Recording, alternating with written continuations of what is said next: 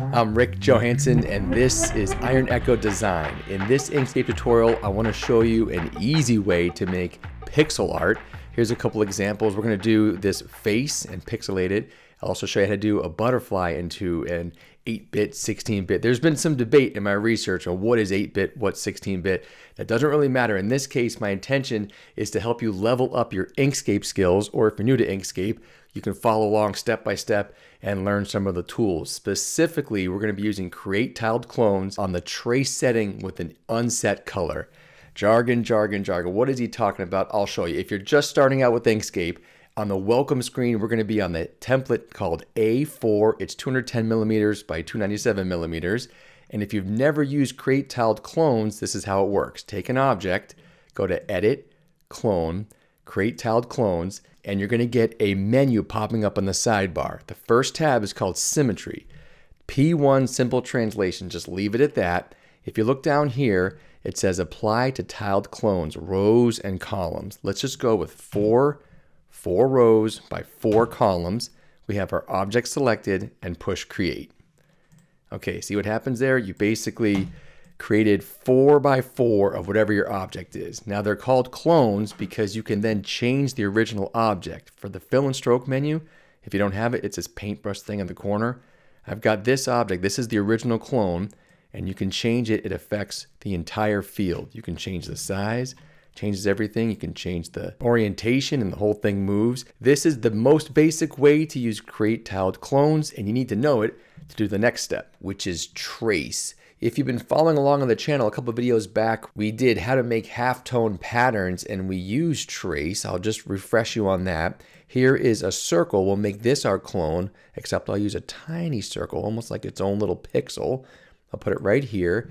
And on the menu to make the trace work, First, if we were on the Symmetry tab before with our 4x4 clones, let's go to the Trace tab, and you've got to select this thing right here, trace the drawing under the clones. So we're going to use this girl, which is the example we did in that past tutorial.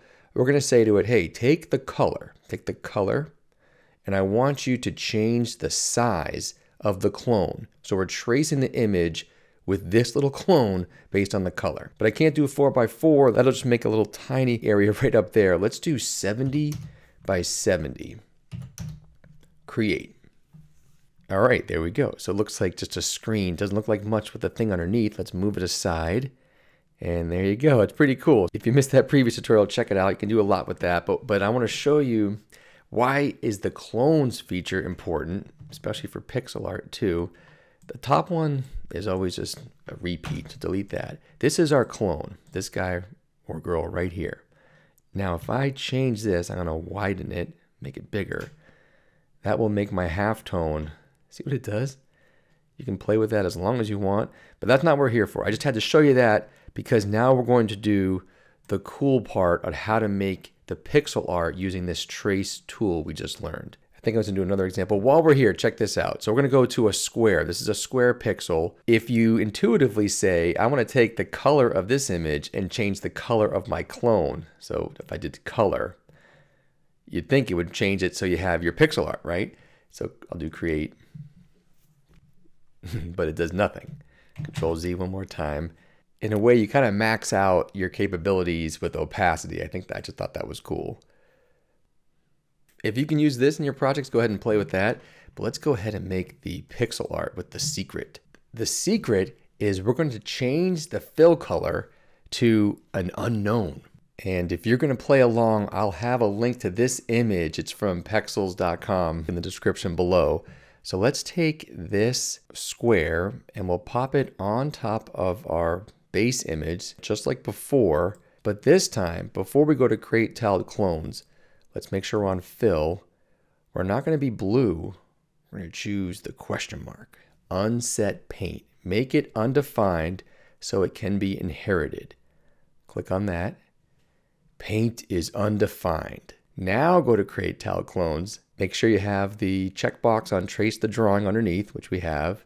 We're going to look at the color. And this time, when we click on color, it will do what we intuitively were trying to do before. I'll actually move this down. I want to do like the just her eyes, just one eye is pixelated so you can have that like advertising print ad effect. So we'll go with 40 by 40, create. yeah, all right. Okay, there we go. Does this speak to everyone's plugged into social media, one eye on social media, the digital world, one eye on, I don't know. Just I just thought it was very interesting to highlight the tool, specifically the unset color. I want to do one more with the entire face to show you another way to control the outcome of your pixel art. To make the pixel art kind of pop, you do want to have a lot of contrast in the image.